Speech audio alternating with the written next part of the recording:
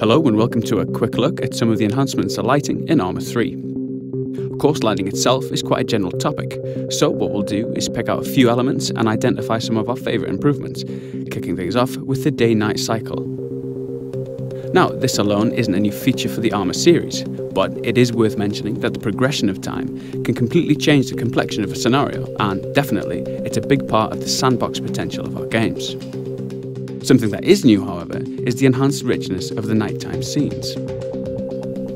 The improvement to the way the engine handles HDR has enabled us to overhaul the feeling of darkness in Arma 3. Vehicles particularly take on a whole new complexion, and the detailed ground surfaces really come into their own, cast in this kind of light. Now, these chem lights are one of my favourite new features.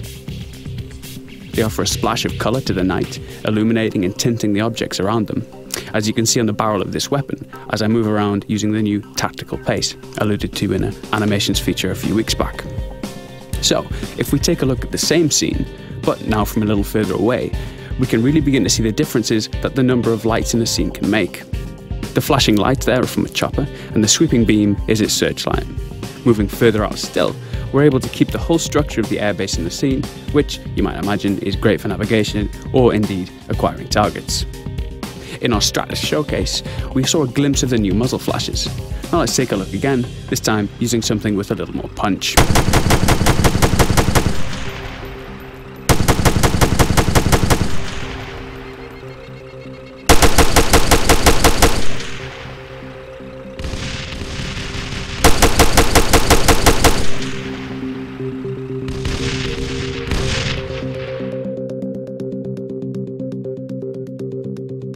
So, moving on. Uh, yes, for those paying attention, we're not underwater quite yet, but what you're seeing here is a peek at some of the content we've prepared for the presentations at this year's E3.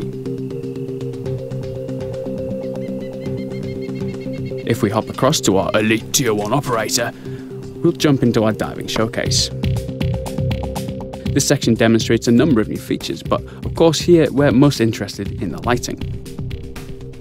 Looking past the fish and through the surface, we can see the clouds and the underwater shading effects on the surface of rocks, seabed, etc. Things like these subtle particle effects zipping past and the seafloor clutter also really add to the overall impression of being underwater.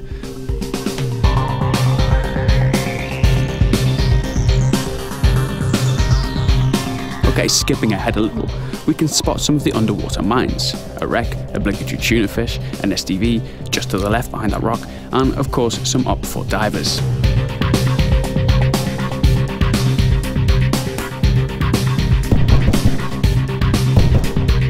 So that just about wraps up what we've got time to show for you now.